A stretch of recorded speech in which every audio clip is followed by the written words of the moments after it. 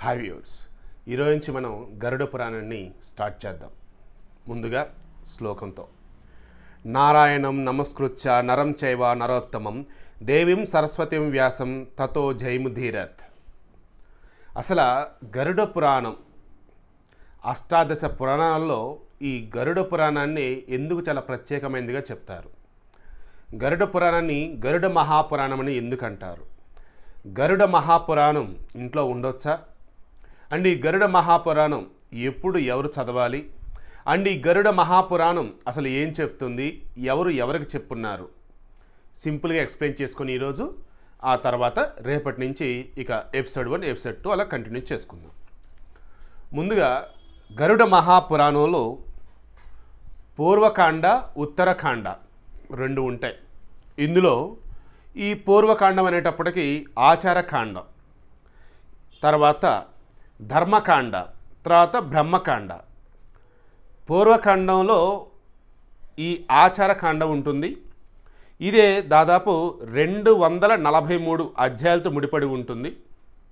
కొంతమంది చెప్పిన దాని ప్రకారం అయితే మరి కొంతమంది చెప్పిన దాని ప్రకారం అయితే రెండు వందల నలభై అధ్యాయాలు అంటారు. సో మనం రెండు వందల నలభై అనుకుందాం. ఆచారకాండ రెండు వందల నలభై అధ్యాయాలు.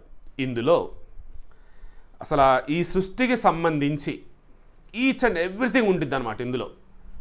చదువుకు సంబంధించి కావచ్చు వైద్యానికి సంబంధించి కావచ్చు. ఇదిగో ఇందులో వచ్చేటప్పటికి వైద్యానికి సంబంధించే నలభై ఎనిమిది అధ్యాయాలు ధర్మశాస్త్రం సంబంధించి అరవై ఒక్క అధ్యాయాలు నీతులకు సంబంధించేసి ఎనిమిది అధ్యాయాలు రత్నాలు మనం ధరించే రత్నాలు అంటే చూసారా? రత్న వజ్ర వైడూర్యాలు.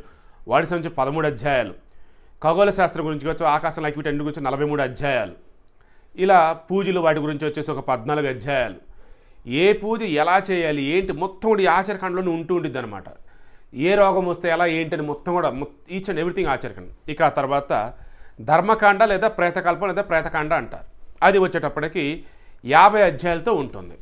ఇందులో ఒక మనిషి అనేవాడు ఏ తప్పు చేస్తే అతనికి ఏ శిక్ష విధిస్తారు అండ్ అతను మరణించినప్పుడు అసలు ఏం చేయాలి అండ్ మరణించిన తర్వాత అతనికి ఎటువంటి శిక్షలు అమలుపరుస్తారు ఏంటి మొత్తం కూడా ఇందులో ఉంటాయి అన్నమాట ఇదంతా కూడా ధర్మకాండ లేదా ప్రేతకాండ అన్న అనుకోవచ్చు. ఇక ఆ తర్వాత బ్రహ్మకాండ. ఇది వచ్చేటప్పటికి దీనిని మనం అరౌండ్ ముప్పై అధ్యాయాలుగా చెప్తా ఉన్నారు. కొంతమంది వచ్చేటప్పటికేమో ఇరవై తొమ్మిది అధ్యాయులు అని అంటా ఉన్నారు. సో మనం ముప్పై అధ్యాయులుగా అంటే సింపుల్గా రెండు వందల నలభై అధ్యాయులేమో ఆచారకాండ అంటే పూర్వకాండం. తర్వాత యాభై అధ్యాయులేమో ఈ ప్రేతకాండ ర- ధర్మకాండ. ముప్పై అధ్యాయులు వచ్చేసి బ్రహ్మకాండ అన్నవేళ అనుకుందాం. మొత్తం ఎన్ని? మూడు వందల ఇరవై. ఈ మూడు వందల ఈ ఇరవై అధ్యాయాలు కూడా మూడు వందల ఇరవై అధ్యాయాల్లో కూడా ప్రధానంగా చూసుకుంటూ ఉన్నప్పుడు అసలు సృష్టికి ముందు సృష్టికి తర్వాత మధ్యలో ప్రళయం వచ్చి సృష్టి అంతా కూడా అంతమైపోతే మరల సృష్టి మొదలవ్వాలి కదా. ఎలా? ఈ చనివర్తి మొత్తం అనమాట సర్గ ప్రతి సర్గ అన్నట్టుగా అంటారు. సర్గ అన్నప్పుడు సృష్టి ఆరంభాన్ని సూచించింది ప్రతి సర్గ అన్నప్పుడు మధ్యలో సృష్టి అంతమైపోయి మరల సృష్టి మొదలవ్వాలి కదంటే స్టార్టింగ్ ఆరిజిన్ అన్నది ఏదైతే ఉందో అది సర్గ.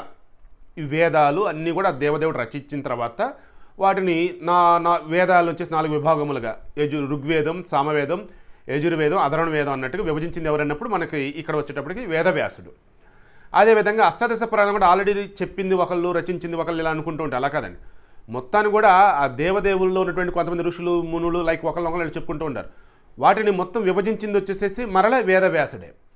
ఇప్పుడు ఈ గరుడ మహాపురాణం కూడా విష్ణుమూర్తి గరుత్మంతుడికి చెప్తాడు. ఆ తర్వాత గరుత్మంతుడు ఏమో కశ్యపుడికి చెప్తాడు. మరల బ్రహ్మరుద్రులకు వచ్చాక మరల విష్ణుమూర్తే చెప్తాడు. ఇప్పుడు ఈ బ్రహ్మ వచ్చేటప్పటికేమో వేదవ్యాసుడికి చెప్తాడు. ఈ వేదవ్యాసుడు తన శిష్యుడైనటువంటి సూత మహర్షికి చెప్తాడు. ఈ సూత మహర్షి నమిషారణ్యానికి వెళ్ళినటువంటి సందర్భంలో అక్కడ ఉన్నటువంటి వాళ్ళంతా కూడా అడిగితే అక్కడ వాళ్ళకి ఎక్స్ప్లెయిన్ చేస్తాడు. ఇలా నెంబర్ ఆఫ్ అనమాట సో మనకి ఈరోజు అర్థం అవ్వాల్సింది ఏంటిది? పూర్వకాండ ఉత్తరకాండ అని ఉంటాయి. ఇందులో ఉత్తరకాండలో వచ్చేటప్పటికేమో ధర్మకాండ బ్రహ్మకాండ అని ఉంటాయి. ఇక్కడ వచ్చేసి ఆచారకాండ వచ్చేసి పూర్వకాండ కింద మెన్షన్ చేసుకోవాల్సి ఉంటుంది మనం. ఇక మనకు రెగ్యులర్గా దొరుకుతున్నది మన ఇళ్ళలో ఉండేది చాలామంది చదువుతున్నది ఏంది? ధర్మకాండ లేదా ప్రేతకాండ. మనిషి ఎటువంటి శిక్షలు అనుభవిస్తాడు? అండ్ చనిపోయినప్పుడు అతనికి వచ్చేసి ఎటువంటివి నియమాలు అవన్నీ కూడా పాటించాలి? ఎలా ఏంటి పూజలు లైక్ అవన్నీ కూడా చెప్తూ ఉంటారు. ఇవే ఎక్కువ మంది. అండ్ అది ఒక మనిషి చనిపోయిన తర్వాత అతని యొక్క ఈ కర్మకాండాలు జరుపుతారు కదా పన్నెండో రోజు పదకొండో రోజు లైక్ ఇలా. ఈ పన్నెండు రోజులే ఇది చదువుతూ ఉంటారన్నమాట. వాస్తవానికి ఆ రోజుల్లో చదువుతారు కదా అందుకే రిమైనింగ్ రోజుల్లో చదవడం ఒక ఏమంటారు దాన్ని ఒక అపోహ. వాస్తవానికి గరుడ పురాణం ఎప్పుడైనా సరే ఎవరైనా చదవచ్చు కాక ఎంత అంటే మనం ఏవైతే అజ్ఞాన అంధకారాల్లో ఇబ్బంది పడిపోతూ ఉన్నామో వాటిని పారద్రోలే అంత గొప్పది ఈ గరుడ మహాపురాణం. గరుడిని చూస్తే పాములు వణికిపోతూ ఉంటాయి. అటువంటి ఆ పాములు ఉన్నటువంటి విశ్వం అనేది ఏదైతే ఉందో అదే మనలో అజ్ఞానంగా ఉంటూ ఉంది. ఈ అజ్ఞానాన్ని పారద్రోలదే గరుడ మహాపురాణం. పాములను చూసి ఏ రకంగా అయితే గరుడు అసలు ఓ రకంగా చెలరేగిపోతాడో ఆగ్రహావేశాలతో అదైతే మనలో అజ్ఞాన పారద్రోడే విధంగా ఈ గరుడ మహాపురాణం ఉంటుంది అంటున్నారు. అంటే ఈ గరుడ మహాపురాణం చదవటం వల్ల మనం ఎంతో గొప్పగా ఉన్నతంగా ద బెస్ట్ వేలో వెళ్తాం. ఇది కూడా క్లియర్గా చెప్తున్నారు. విద్యకి కీర్తికి వర్చస్సుకి తర్వాత సంపదకి జయానికి వీటన్నిటి కూడా ఎంతో గొప్పగా యూజ్ అయ్యింది గరుడ మహాపురాణం. ఆ తర్వాత వాటిని ఇంకా ఎక్స్ట్రీమ్ ద బెస్ట్ వేలకు తీసుకెళ్తారు కూడా గరుడ మహాపురాణం మనకు ఉపయోగపడుద్దని చెప్తూ ఉన్నారు. ఇక ఒక్క మాటలో చెప్పాలంటే ఈ గరుడ మహాపురాణాన్ని ఎన్సైక్లోపీడియా ఆఫ్ హిందూ విజ్ఞాన సర్వస్వం అన్నట్టుగా చెప్తారు.